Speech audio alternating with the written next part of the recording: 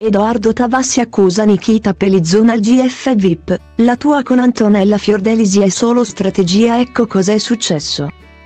Durante il confronto di ieri sera tra Edoardo Tavassi e Nikita Pelizzon si è parlato anche di Antonella Fiordelisi.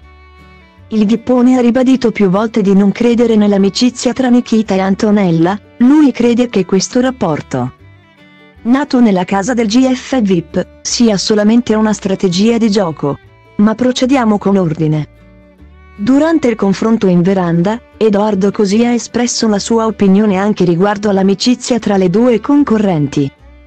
Ci sono delle cose che non mi tornano e sono molto legate al gioco.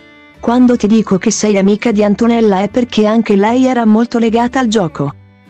Poi, ha aggiunto, io credo che la vostra amicizia sia nata per una necessità, il gioco. Voi non vi sopportavate all'inizio e vi siete dette le peggiori cose.